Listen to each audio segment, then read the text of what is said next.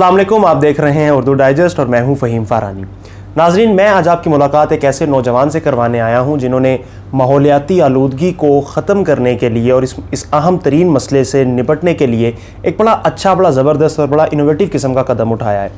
इन्होंने जनाब, ये चम्मच बनाया है। ये कोई आम चम्मच नहीं है जो आप मेरे हाथ में देख रहे हैं कि ईडेबल स्पून है। यानी ऐसा चम्मच जिसे आप खा सकते हैं। आप जैसा कि जानते हैं कि माहौलियाती आलूदगी में सबसे जो बड़ा फैक्टर है वो प्लास्टिक का कचरा है, क्योंकि प्लास्टिक सदियों तक उसकी उम्र होती है, वो डिकम्पोज नहीं होता और वो इस धरती के ऊपर समंदरों में, ज़मीन पे पड़ा रहता है और आलूदगी का बायस बनता है।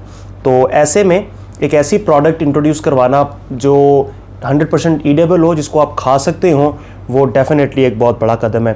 तो चलिए, आपकी मुलाकात करवाते हैं शायान मलिक से। जो जो स्टूडेंट हैं लेकिन उन्होंने एक ये ईडेबल स्पून जो है वो बनाया। अस्सलाम शायान। कैसे हैं आप मैं भी कुछ आप ठीक है? शायान। अच्छा शायान सबसे पहले तो अपना ज़रा थोड़ा सा एक इंट्रोडक्शन हमें और हमारे नाज़रीन को करवा दें। अस्सलाम वालेकुम। मैं मेरा नाम मोहम्मद शायान मलिक है और मैं लाहौर शहर से ताल्लुक़ रखता हूँ। मैं लाहौर शहर में इंटरनेशनल स्कूल लाहौर या आईएसएल में ए लेवल्स के फ़र्स्ट ईयर में अभी हूँ। और मैंने भी रिसेंटली कुछ अर्सा पहले एक अपनी कंपनी स्टार्ट की है वीटेट के नाम से। वीटेट जो है वो बेसिकली एक होम बेस्ड बिज़नेस है जिसे हम प्रोड्यूस कर रहे हैं। एडिबल स्पून यानी वो स्पून जिनको आप खा सकते हैं। इनका जो मरकज़ी जुज़ है वो वीट है या गंदम है, गंदम का आटा। इससे बनती हैं। इसके अलावा हमने इसमें कोई प्रिजर्वेटिव या एडिशनल केमिकल्स हम नहीं ऐड करते। ये हंड्रेड परसेंट ऑर्गेनिक है, सौ फ़ीसद सस्टेनेबल है और बायोडिग्रेडेबल है। शयान, ये आइडिया आपको कैसे आया? अच्छा। और आया? मैं रिसर्च कर रहा था कुछ अर्सा पहले तो मुझे एक आ, इंडिया में एक आदमी मिला नारियाना पीसापति के नाम से। उन्होंने वहाँ पर आ, ये प्रोड्यूस करना शुरू किए एडिबल स्पून्स तो मैं बड़ा हैरान हुआ मैंने कहा हैं ऐसी चमचियाँ जो कि आप खा भी सकते हो। तो मैं वहाँ से सबसे पहले तो मैं वहाँ से बड़ा इस इस इंस्पिरेशन मोटिवेशन के बाद के जैसे मैंने आपको स्कूल में आपको बताया जाता है तो एक तो मुझे ये भी था कि मैं भी कुछ करूँ एक वाइडर इम्पैक्ट क्रिएट करने के लिए। उसके अलावा सेकंड इंस्पिरेशन मुझे यहाँ से आई जब मैंने देखा कि एक आदमी है जिसने ये भी शुरू किया है काम और उसने प्रॉपर फैक्ट्री वगैरह शुरू की तो मुझे वहाँ से बड़ी इंस्पिरेशन आई। मैंने कहा कि हमारे मुल्क में भी मुझे किसी को भी यहाँ भी शुरू करना चाहिए। जब मैं देखा कि कोई और नहीं इसको कर रहा टेक अप इस रिस्पॉन्सिबिलिटी को तो मैंने कहा मुझे शुरू करना चाहिए अच्छा वैसे हमारे माशरे में हमारे पाकिस्तान में हमारी सोसाइटी में और लाइटर नोट एक चीज़ हाँ। बड़ी मशहूर है कि अगर कोई काम हम्म। कोई और दूसरा नहीं कर रहा तो आपको भी वो करने की ज़रूरत नहीं है बिल्कुल है, ये बात है लेकिन असल में कुछ चीज़ें होती हैं जो कि जब तक आप उसको करते नहीं हो तो आपको मतलब पता नहीं चलता कि ये चीज़ कितनी फ़ायदेमंद हो सकती है। कितना टाइम लगा इस चम्मच को बनाने में आपको? लगभग ये हालाँकि प्रोडक्ट मतलब इतना सहती सी चीज़ है लेकिन इसको तकरीबन तैयार करने में फाइनल प्रोडक्ट को छः से कोई आठ माह लग गए मुझे।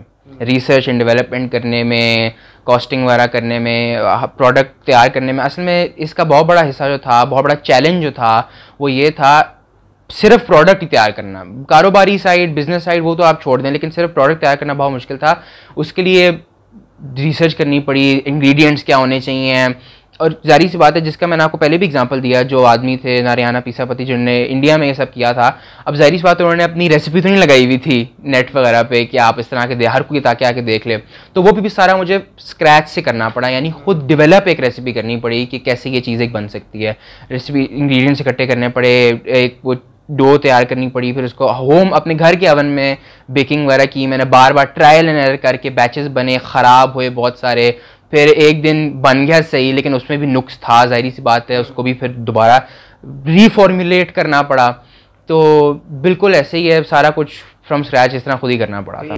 तो सुना जनाब आपने छः से आठ महीने इन्होंने एक ऐसे काम के पीछे लगाए जिसके बारे में इनको अभी खुद भी नहीं था पता कि ये वो कर पाएँगे या नहीं लेकिन बस एक लगन थी कि इनको ये करना है। तो चलिए आपको दिखाते हैं इनका। ये इन्होंने जनाब अपनी कंपनी का नाम जो है वो वीट इट रखा है। वीट इट यस और ये जनाब इसके अंदर ये इनके चम्मच हैं।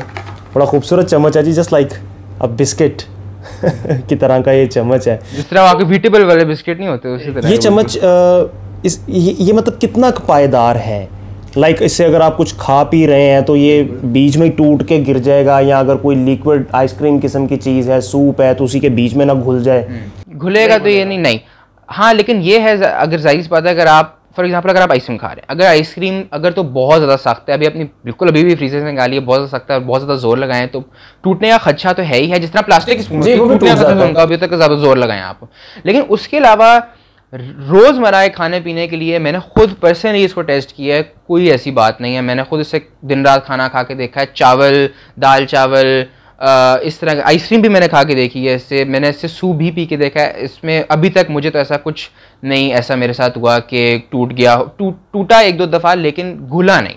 ऐसा नहीं होता। अगर आप इसको सूप अगर फॉर एग्जांपल आप पी रहे हैं मसलन अगर आप सूप पी रहे हैं तो सूप एक गर्म चीज़ होती है बहुत ज़्यादा।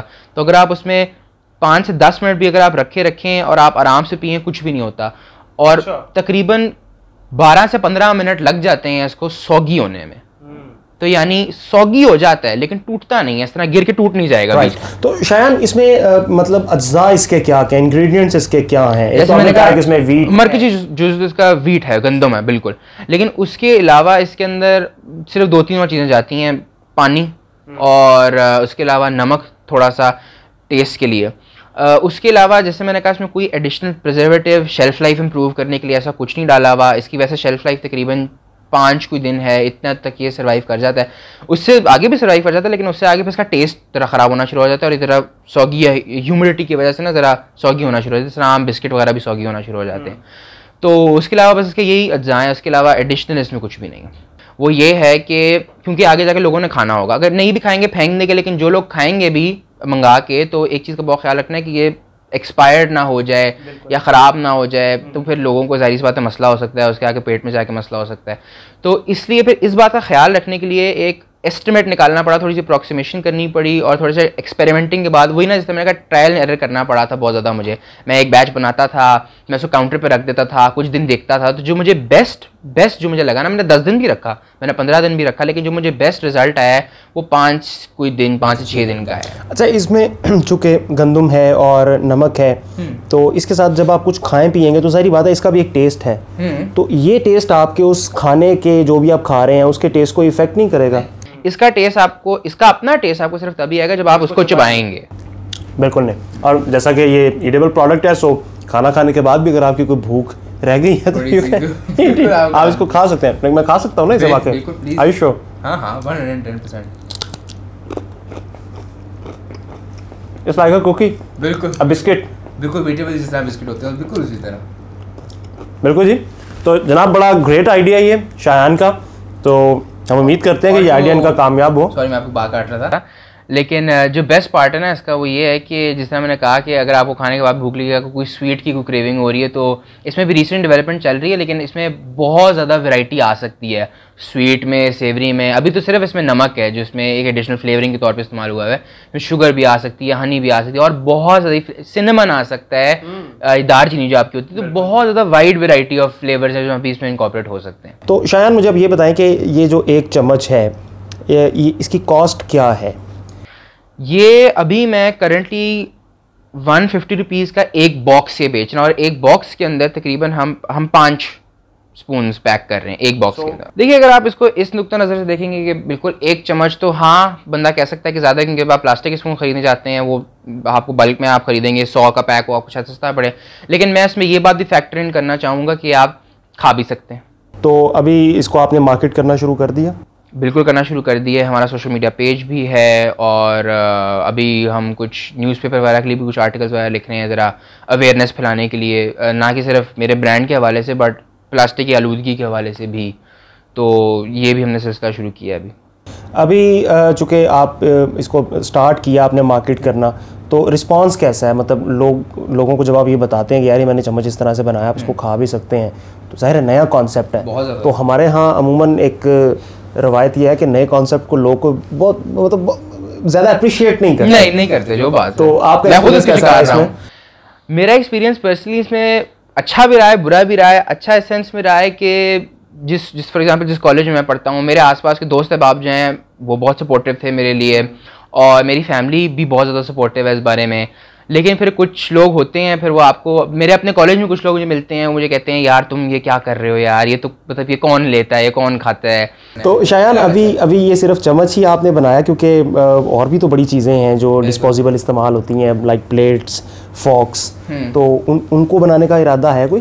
कि सिर्फ़ चम्मच ही करना है? फ़िलहाल तो हमने सिर्फ़ चम्मच पे फोकस रखा हुआ है क्योंकि अभी भी होम बेस्ड बिज़नेस है ना वीटेड तो क्योंकि मैंने घर से शुरू किया था तो उस वक्त सबसे ज़्यादा फीजिबल जब मैं रिसर्च भी करा सबसे ज़्यादा फीजिबल ऑप्शन स्पून थी। वो इसलिए क्योंकि जब मुझे घर जब मुझे मोल्ड्स चाहिए थे तो सबसे ज़्यादा जो फीजिबल चीज़ थी वो जो घर के आपके जो चमचे होते हैं। तो मैंने सबसे पहले तो उनको यूज़ किया। तो क्योंकि मैंने सबसे पहले उन्हीं को यूज़ किया मैंने कांटे यूज़ करने की कोशिश की लेकिन क्योंकि कांटों के जो वो नोक नोक से होते हैं वो उनको मोल्ड में वो निकालना और कुछ वो करना ट्रिम करना बहुत मुश्किल होता है। तो उसके लिए फिर प्रॉपर आपको एक मशीन चाहिए। वो अभी अभी तो मेरे पास नहीं है लेकिन इंशाल्लाह जब हम इसमें भी इन्वेस्ट करेंगे तो फिर प्लान है कि प्ले, आ, उससे प्लेट्स ही बन जाएँगी फोर्क्स ही बन जाएँगे नाइज ही बन जाएँगी इस तरह की चीज़ें ही बन जाएँगी। बाकी कटलेरी की जो आपका सेट की चीज़ें होती है। लेकिन फ़िलहाल स्पून